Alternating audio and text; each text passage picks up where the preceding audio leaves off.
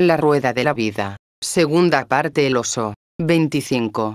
¿Hay algo después de la vida? En nuestras investigaciones, el reverendo Gainas y yo mantuvimos las distancias entre nosotros. Y 4. No había ningún malentendido, simplemente acordamos no comparar nuestras observaciones hasta que cada uno tuviera 20 casos. Peinamos los pasillos cada uno por su lado. También buscamos fuera del hospital. Hicimos averiguaciones y seguimos las pistas para encontrar enfermos que se ajustaran a nuestros requisitos. Nos limitábamos a pedirles que nos contaran lo que les había ocurrido o lo que habían sentido. Todos estaban tan deseosos de encontrar a alguien interesado en escucharlos, que sus relatos brotaban a raudales. Cuando finalmente comparamos nuestras notas, nos quedamos atónitos, a la vez que tremendamente entusiasmados, por el material recogido. Sí, vi a mi padre tan claro como la luz del día, me dijo un paciente. Otra persona le dio las gracias al reverendo Gainas por hacerle la pregunta. Me alegra tanto poder hablar de eso con alguien. Todas las personas a las que se lo he contado me han tratado como si estuviera loco, y todo fue tan agradable y apacible, volví a ver, contó una mujer que había quedado ciega en un accidente. Pero cuando la reanimaron, perdió nuevamente la vista. Eso ocurrió mucho antes de que nadie hubiera escrito algo sobre las experiencias de muerte clínica temporal o de la vida después de la muerte. Por lo tanto sabíamos que el público en general acogería nuestros hallazgos con escepticismo y franca incredulidad, y quedaríamos en ridículo. Pero hubo un caso que me convenció. Una niña de 12 años me dijo que no le había contado la experiencia a su madre. La experiencia fue tan agradable que no tenía ningún deseo de volver de allí. No quiero contarle a mi madre que existe un hogar más agradable que el nuestro, explicó. Finalmente le relató a su padre todos los detalles, incluso que su hermano la había abrazado con mucho cariño. Eso sorprendió al padre, que reconoció que en realidad habían tenido otro hijo, de cuya existencia la niña no tenía idea hasta ese momento. El niño había muerto unos meses antes de que ella naciera. Mientras el reverendo y yo pensábamos qué hacer con nuestros descubrimientos, nuestras vidas siguieron avanzando en direcciones diferentes. Los dos habíamos estado buscando puestos fuera del ambiente sofocante del hospital. El reverendo Gainas se marchó primero. A comienzos de 1970 se hizo cargo de una iglesia de urbana. También adoptó el nombre africano de Muali Muimara. Todo ese tiempo yo había albergado la esperanza de ser yo quien me marchara primero, pero mientras eso no ocurriera tenía que continuar con los seminarios. Estos no resultaban tan bien sin mi socio, que era un fuera de serie. Lo reemplazó su antiguo jefe, el pastor N. Pero era tal la falta de química entre nosotros dos, que un alumno creyó erróneamente que él era el médico y yo la consejera espiritual. Vamos, un desastre. Yo seguía preparándome para dejar ese trabajo, y finalmente llegó el viernes en que había decidido impartir el último seminario sobre la muerte y el morir de mi carrera. Siempre he sido propensa a los extremos. Después del seminario, me acerqué al pastor N, sin saber muy bien cómo decirle que renunciaba. Nos detuvimos ante el ascensor, hablando del seminario que acababa de terminar y de otros asuntos. Cuando él pulsó el botón para llamar el ascensor, decidí aprovechar ese momento para dimitir, antes de que él entrara en el ascensor. Pero ya era demasiado tarde, pues se habían abierto las puertas. Yo me disponía a hablar, cuando repentinamente apareció una mujer entre el ascensor y la espalda del pastor N. Me quedé con la boca abierta.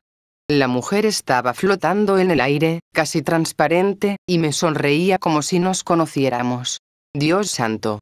¿Quién es? exclamé extrañada. El pastor N no tenía idea de lo que ocurría. A juzgar por su expresión, debía de pensar que me estaba volviendo a loca. Creo que la conozco, dije. Me está mirando. ¿Qué? preguntó él. Miró a su alrededor y no vio nada. ¿De qué está hablando?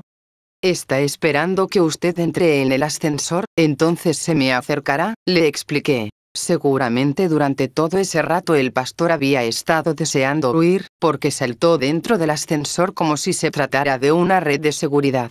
Y en cuanto se hubieron cerrado las puertas, la mujer, la aparición, se acercó a mí. Doctora Ross, he tenido que volver, me dijo. ¿Le importaría si fuéramos a su despacho? Solo necesito unos minutos. Mi despacho estaba solo a unos cuantos metros, pero fue la caminata más rara y perturbadora que había hecho en mi vida. ¿Estaría experimentando un episodio psicótico? Había estado algo estresada, sí, pero no tanto como para ver fantasmas, y mucho menos un fantasma que se detuvo ante mi despacho, abrió la puerta y me hizo pasar primero como si yo fuera la visita. Pero en cuanto cerró la puerta, la reconocí. Señora Schwartz. Señora Schwartz. La señora Schwartz había muerto hacía diez meses y estaba enterrada. Sin embargo, allí estaba, en mi despacho, a mi lado. Era la misma de siempre, afable y reposada, aunque algo preocupada. Mi estado de ánimo era bastante diferente, tanto que tuve que sentarme para no desmayarme. Doctora Ross, he tenido que volver por dos motivos, me dijo claramente. El primero, para agradecerles a usted y al reverendo Gainas todo lo que han hecho por mí. Yo toqué mi pluma, los papeles y la taza de café para comprobar si eran reales. Sí, eran tan reales como el sonido de su voz. Pero el segundo motivo ha sido para decirle que no renuncie a su trabajo sobre la muerte y la forma de morir. Todavía no. La señora Schwartz se aproximó al costado de mi escritorio y me dirigió una sonrisa radiante. Eso me dio un momento para pensar. ¿Era este un suceso real? ¿Cómo sabía que yo pensaba renunciar?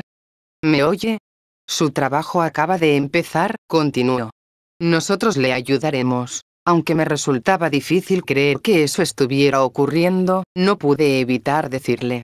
Sí, la oigo. De pronto presentí que ella ya conocía mis pensamientos y todo lo que iba a decirle.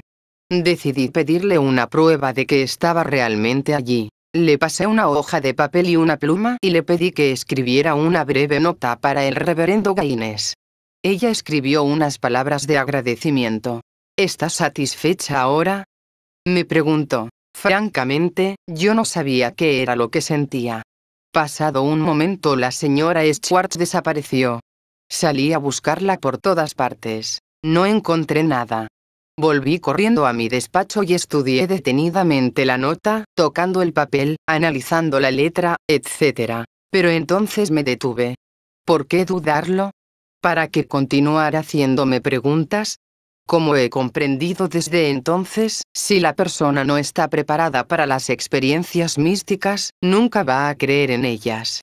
Pero si está receptiva, abierta, entonces no solo las tiene y cree en ellas, sino que alguien puede cogerla y suspenderla en el aire con un pulgar y va a saber que ese alguien es absolutamente real. Barra invertida de pronto, lo último que deseaba en el mundo era dejar mi trabajo. Si bien a los pocos meses abandoné el hospital, esa noche me fui a casa llena de energía y entusiasmada ante el futuro. Sabía que la señora Schwartz me había impedido cometer un terrible error. Le envié su nota a Mualimu, y todavía la tiene, que yo sepa. Durante muchísimo tiempo, él continuó siendo la única persona a quien le había contado lo de ese encuentro. Manny me habría regañado como todos los demás médicos. Pero Mualimu era diferente. Nos elevamos a otro plano. Hasta ese momento habíamos intentado definir la muerte, pero desde entonces nos dedicamos a mirar más allá, hacia una vida futura. Acordamos continuar entrevistando a pacientes y acumulando información sobre la vida después de la muerte. Después de todo, se lo había prometido a la señora Schwartz.